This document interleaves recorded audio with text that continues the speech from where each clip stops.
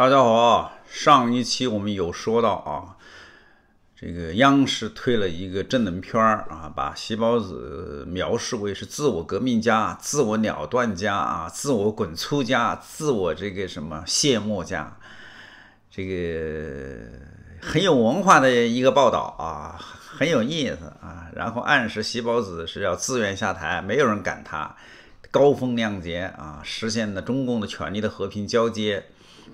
现在中共就是这样子的，他呢，嗯，我们说过无数次嘛，共产党是一个整体的利益，他们一旦面临他的最大的整体的利益的时候，他们是一伙的。习包子和王岐山是一伙的，习包子和胡锦涛也是一伙的，习包子和江泽民也是一伙的，江泽民和胡锦涛也是一伙的，是不是？赵子阳和这个邓小平是一伙的。是吧薄一波和这个薄习仲勋也是一伙的，因为他们是最高利益嘛。这个东西你很很很简单，就枪口一致对外嘛，是不是？你这个党的最后的江山都玩没了，你们这帮人有什么好处呢？我们昨天做过一期节目，说你看缅甸的党的事业就没了嘛，没了以后所有的官员都要被清算的，要灭族的，要把你杀了以后还要把你调到这个乌门，调到这个天安门城的，给你刮一个尸体的。很吓人呐，所以他们这个其实是步调很一致的啊，所以我们一定要记住一个简单的道理：共产党不垮，中国没戏，就这么简单。我那是宁愿中国陷入所谓的军阀混战啊，宁愿中国呢变成很多个国家分裂，只要共产党不垮，这个国家就不是人待的地方，打死不要回去。所以以前我们尊敬的高行健老师，得过诺贝尔文学奖的啊，他就是八十年代就出去了，那时候还没有六四呢。中国其实有些人脑瓜子老好使了，你想想，他那个时候在北京，在人艺小剧场搞先锋剧，搞得可好了，大名鼎鼎，才华横溢，是不是？人见人夸，人见人爱的，而且人又年轻，然后就就这么一出去了。后来发生了好多事情，他当时出去以后就说，共产党不垮台，他是永远不会回到中国的。你知道，我们中国人，包括我自个儿在内啊，都是有一种挥之不去的乡愁的呀，是不是？这个乡愁意识，举头望明月啊，低头思故乡啊，这是中国人的原初情感。能不想念那个灰不拉几的这个罪恶满满的这块土地吗？想念呐，它再黑，它再烂，它也是我们自己的故乡啊。中国人就这样。所以他那个时候就出去了，再也不不那个什么啊，再也不回去了，再也不回中国。啊，我在台湾听过他一次讲座，他去台湾，但是他不回中国，很有意思的啊。这是一聪明人，这是一个有大智慧的人。所以我就是上来就这么告诉大家一句啊：共产党不垮台。你如果是一个对自由真爱的人，你是一个对个人权利有明显的一种意识的人，你千万不要回回中国，没意思，那不是你待的地方。哎，所以这个央视昨天就说了，这个细胞子的自我革命家，它仅仅意味着细胞子可能自己愿意滚蛋啊，但是不意味着中国就一定要变成一个文明的国家，远着呢，早着呢，千万不要想多了啊！想多了以后，那是脑子进水，啊，所以这个。啊，央视有动作，那人民日报这边也要有动作，主流媒体啊，新华社也要有动作啊。今天新华社和人民人民网啊，就刊登了一个很奇怪的，刊登了一个丁雪祥的标准照啊，红色的背景，有一句说一句啊，丁雪祥倒是长得像一个皇上那样子的啊，这个一张脸呢，按照中国人的面相学啊，一张国字脸啊，方方正正的啊。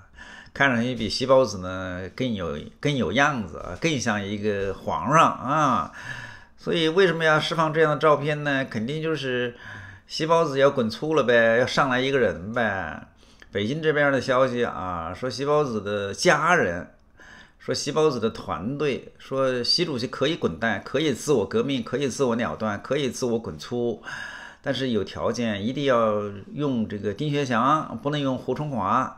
说胡春华上来以后，中国会陷入内战，是不是？因为胡春华有他自己的一套，关键是胡春华被整得太狠了，是不是？就像当年邓小平啊杀回来了以后，我操，把毛泽东家人整的是乌七八糟的，是不是？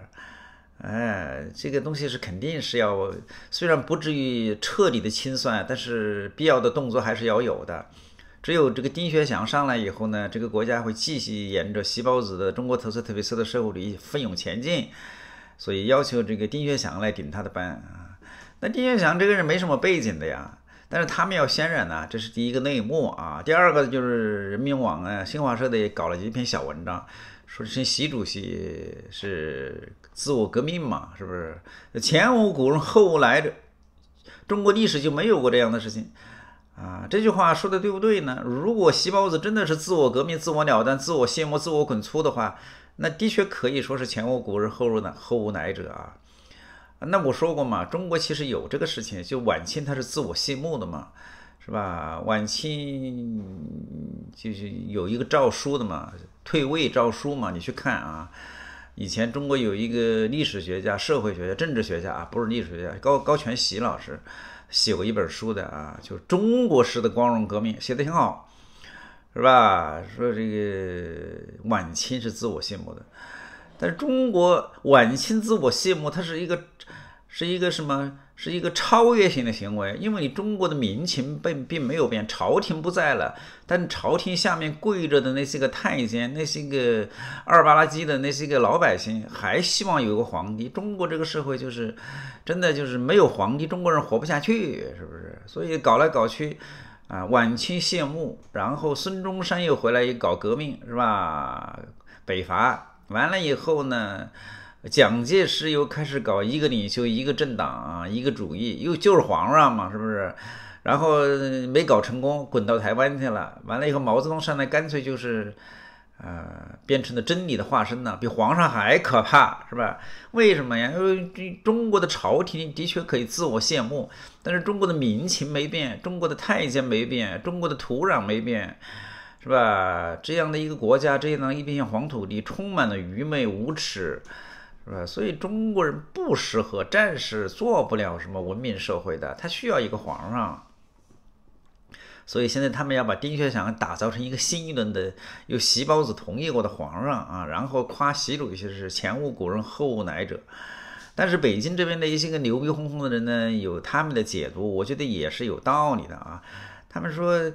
中央电视台、人民网、新华社搞这样的一个定位啊，其实是提前释放习包子的官方导词哦。因为你要知道，习主席他如果没死的话，你没有必要过早的给他搞这些个定位，没有必要的，是不是？因为他还在呢，说不定他以后还会经常露面呢。就像当年的这个呃赵子阳啊下台了，是不是？或者胡耀邦下台了。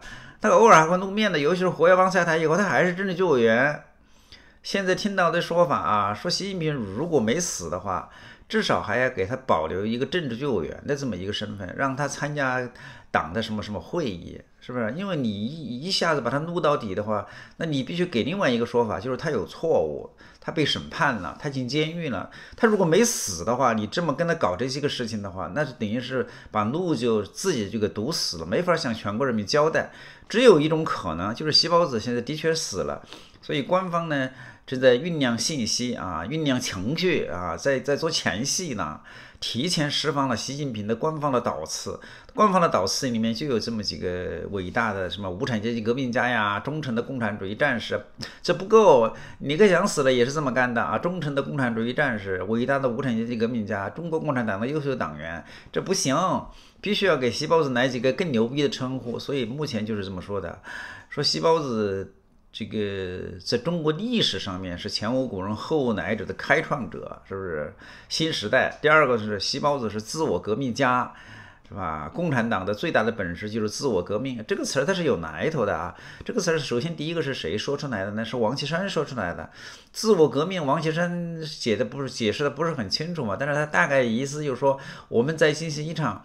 非前无古人后无来者的这么一个伟大事业，就好比一个外科医生自己给自己动手术啊，把自己的牙签给割下来，这是不大可能的，搞不定的啊。但是我们在努力，我们在尝试，是这么来的。